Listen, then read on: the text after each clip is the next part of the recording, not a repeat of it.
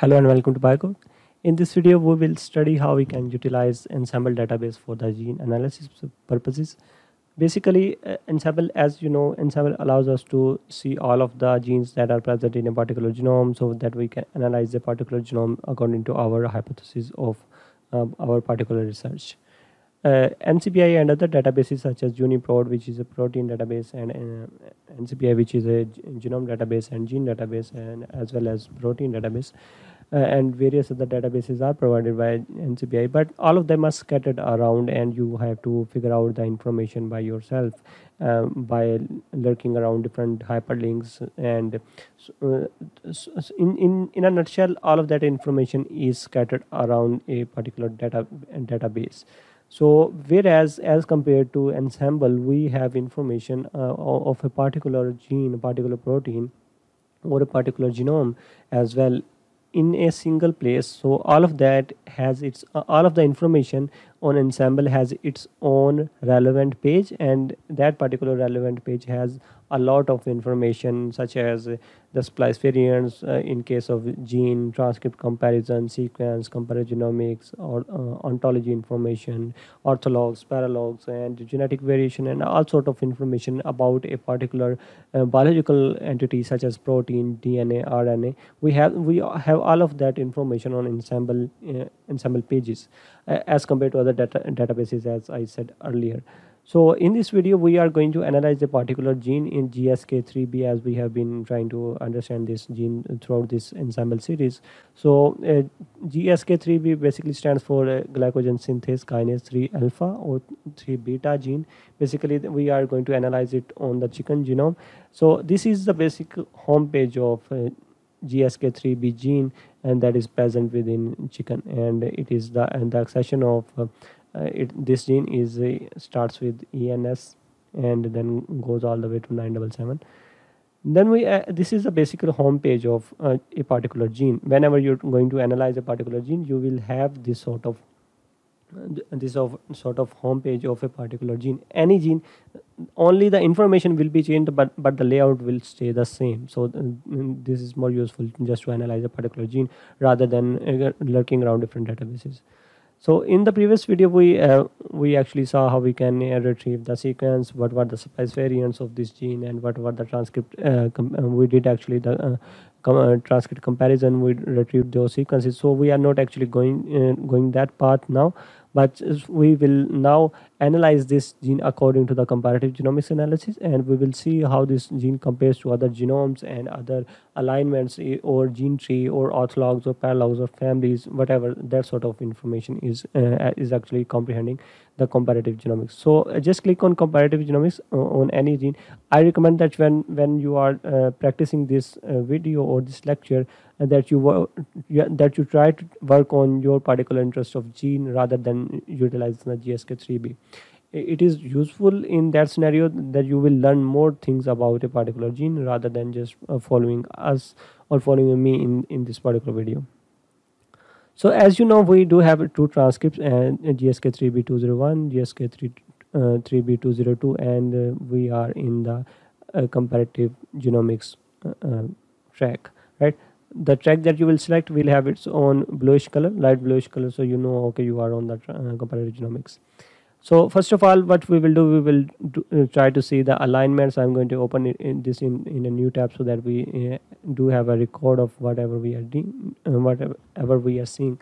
So whenever you try to open genomics uh, genomic alignment what really happens is that only those regions or only, only this this uh, gene region will be compared against different genomes uh, for different species. And uh, so that you can see okay this is where your gene is changing this is where it remains conserved and that sort of information. So just click on select alignment and this is where you will have the opportunity to select various uh, species. For example you can select uh, multi multiple or pairwise pairwise uh, information such as for example let's suppose that you would like to uh, compare this gene against uh, human human GSK3B.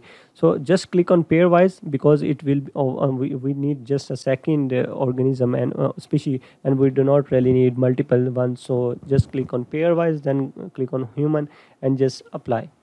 So after applying you will see uh, the page will refresh and then we will see the alignment of this gene uh, with uh, human uh, human gene. And then we will see more information according to the region wise information. For example uh, if you would like to see the image of this alignment let's click on the image. It will be more useful for us to actually comprehend this uh, alignment.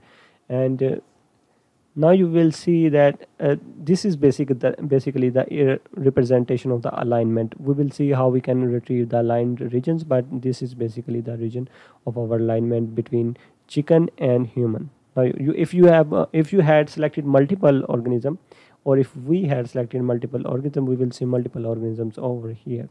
So you can also uh, export this image um, by clicking over here. Anyways so as you see uh, this is uh, the human genome over here. And this is basically the separator. This black line is the separator.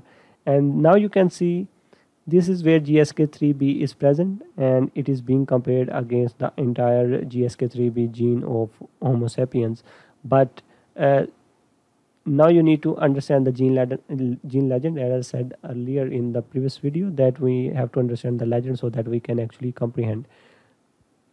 So and Havana is basically a, an automated uh, automated tool provided by Ensembl that is basically a pipeline for automated analysis of uh, genomics, uh, genomic uh, of genomic uh, alignments or genomes of species, so that it can comprehend okay, uh, or it can predict which regions are genes, which regions are intron, that sort of information. So you should not really rely on Havana because it, it is an automated. Rather you should always rely on the uh, experimentally determined genes and gene lengths so this is where you can see that uh, we have a protein coding exon over here and same is or uh, same is true for the chicken genome as well.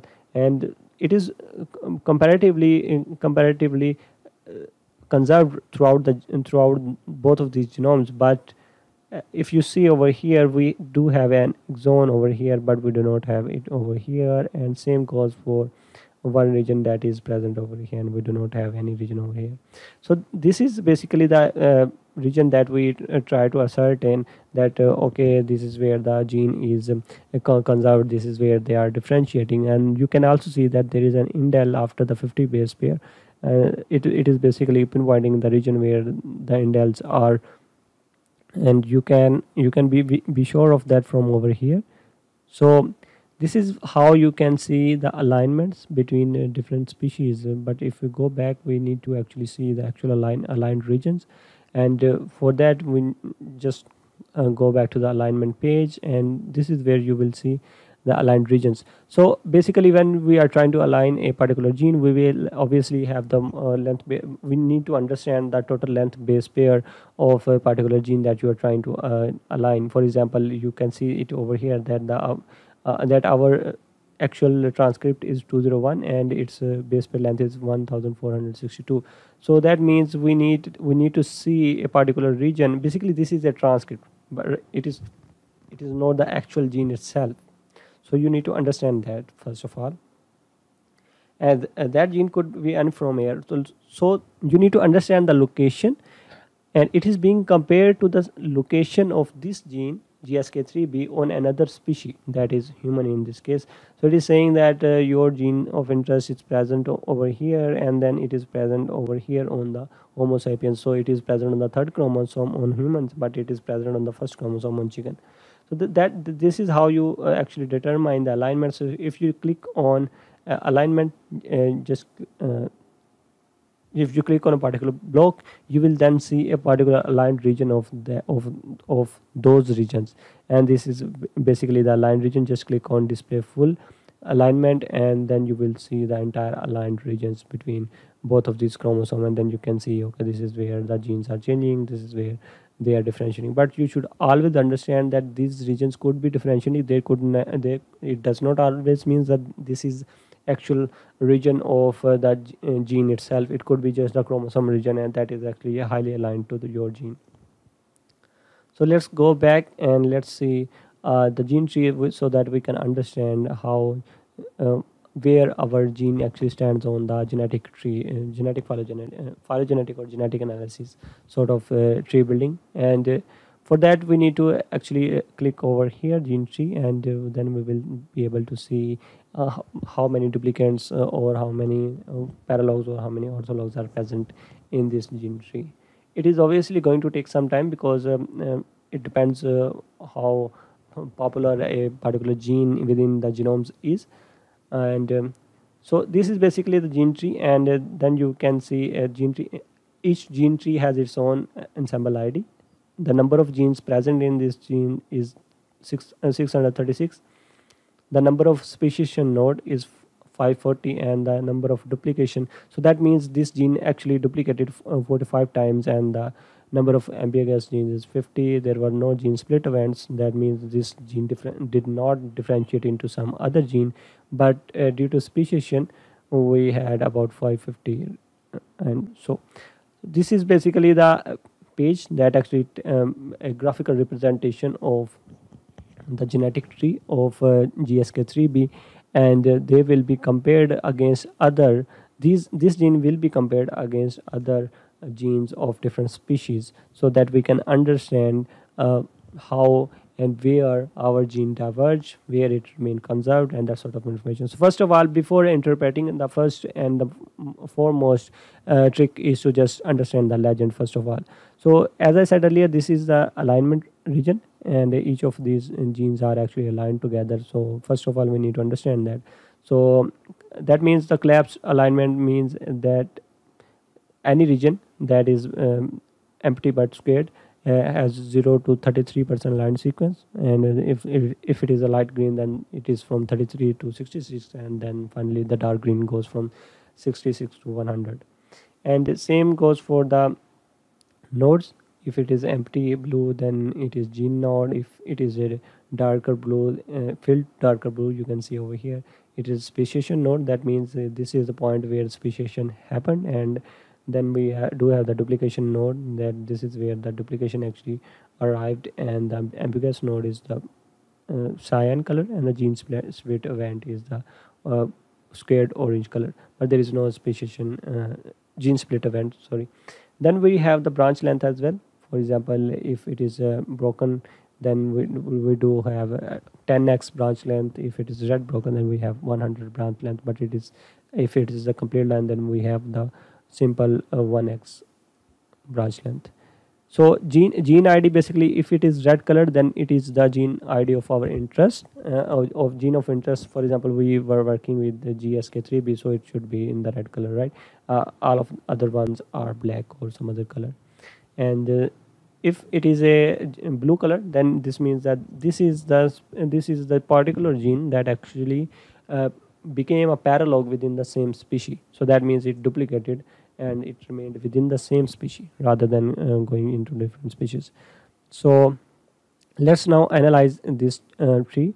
First of all i will uh, come from the top and uh, as you can see basically this is the phylogenetic tree of all of the, uh, all of the genes uh, gsk3b genes present in different species. That could be drosophila that is fly osteoglossophylla birds and uh, then chicken itself golden pheasant turkeys basically these are the birds.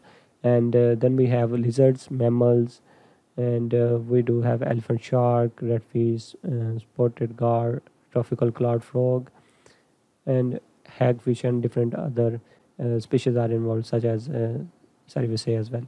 Animals and fungi are also involved. So basically uh, we need to understand the split of the tree Uh, throughout the noding mm, mm, throughout the nodes that are present in this tree. We need to understand how and when our particular gene of interest actually diverge. So if we go back from uh, over here we can see that first of all we need to understand the square which is empty. So we go over it is a gene node. And if it is darker color then this is the speciation node. So that means chicken and uh, golden pheasant were actually diverged due to a speciation event. So that is why uh, these genes were actually diverged from each other and they were present in different species. Then we go back to the initial ancestral node and then we understand that this is the ambiguous node. Ambiguous node basically means that they are not certain what really happened at this point. So they are more uh, the scientists are or the researchers are doing more research on that topic. And then same goes for so now we understand that uh, this that uh, the GSK3B that is present within chicken is actually related to all of the genes or GSK3 genes that are present within the, within the birds, right? But as we go outside this region, or as we go outside this region, we then try to uh, see that it is now more divergent with the lizards, mammals, and as we move away, we see that Drosophila is a lot, a lot uh, distant uh, to the GSK3B that is present within the chicken. All of them do have GSK3B, but it is more diverged within other species, especially the uh, Saccharomyces cerevisiae and the finally animals, basically, which is a out node. And uh, then you can also understand that C. elegans do also have GSK3B, but it is a lot distant as compared to uh, if it is present within elephant, shark, and then chicken itself. So we do also have the alignment, and uh, you can now see that uh, all of these regions, if you see over here, these four or five of them, they have highly aligned regions. But if we move away from them, we can see that according to the coloring, we do not have that sort of aligned regions. And uh, especially the Drosophila, it has a lot of exons and that is highly aligned regions. So that was all about gene tree, and I hope you understand. If you have any questions, you can uh, reach us, reach out to us, and we will most definitely help you out on this analysis. So let's go back and let's see orthologs. Orthologs basically means that the genes have actually duplicated, but they are present in different species, not in the same species. So in but in paralogs, the genes actually duplicate but remain in the same species as well. So we are actually trying to ascertain the orthologs. So that means we need to understand how this gene actually duplicated and then uh, was actually present in different species or not. So first of all uh, whenever you try to click on uh, orthologs you will open up a particular page and you, before you go to the analysis we need to understand the actual actual layout of the data first of all you can also download the ortholog you could just click on download a page will open up and then you will have the possibility to collect uh, to select all of these uh, sequences and just download all of them. So it is more uh, comprehensive for you to just download all of these sequences. Then you can um, just analyze them in your uh, tree analysis or whatever. So there are different uh, formats available such as file, Clustal Omega msf nexus pfm and various other so i'm going to back go back and now you need to understand that there are sometimes there are one to one orthologs then there are one to many many to many orthologs and without orthologs. What are these? Basically one to one ortholog means that if your gene of interest has if your gene of interest is present in a, in another species and only one gene is present in that species and there was no duplication so that means it is one to one.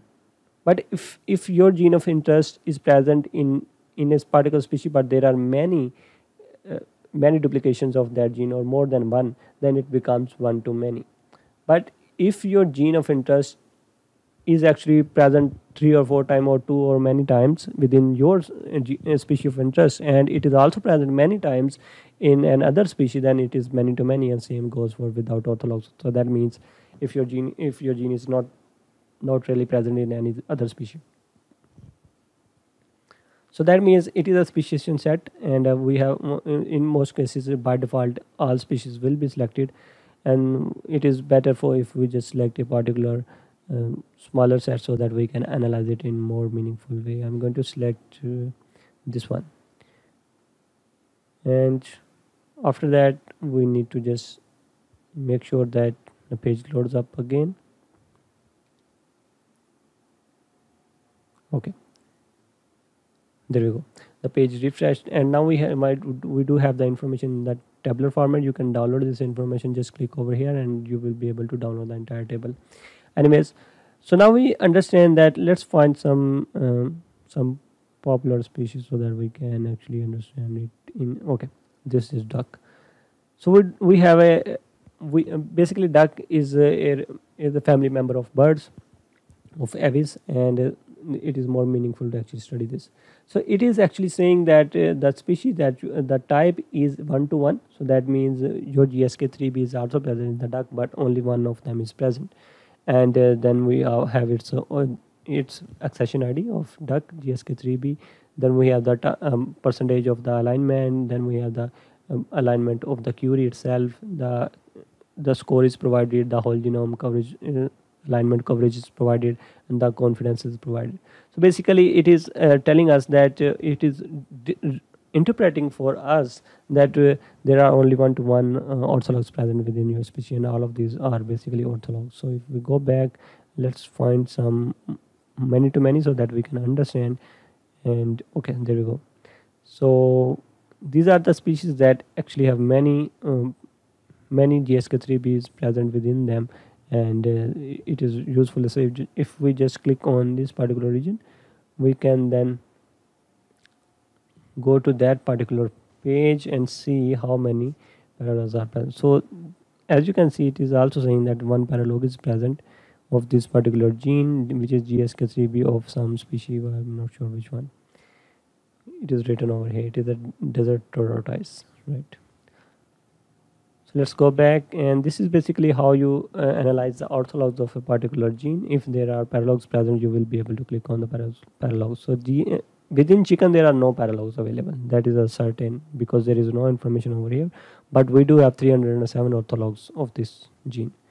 So let's go back to the main page and now we can click on families and try to ascertain what families to we, to our uh, protein belongs. And as you can see it is on the top. It is a member of one protein family and basically this protein family will be actually displaying or interpreting information for us in a way that we can ascertain okay so this is where our gene of interest is actually a part of that family gene family or protein family. So th this means it should be working or pro uh, providing a function function in the body like xyz or whatever.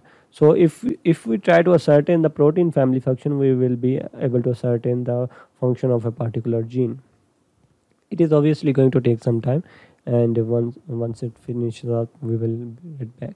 Okay.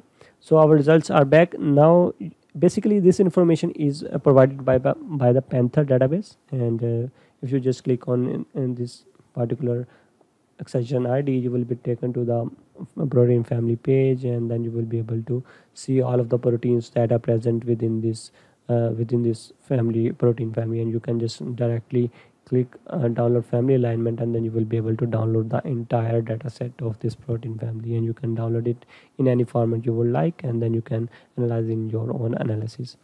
So it is also recommended that you first of all you, you remove all of these other transcripts. You need to understand which transcript is your of interest because some in transcripts are not protein coding at all so you you should not really be working them with them. Anyways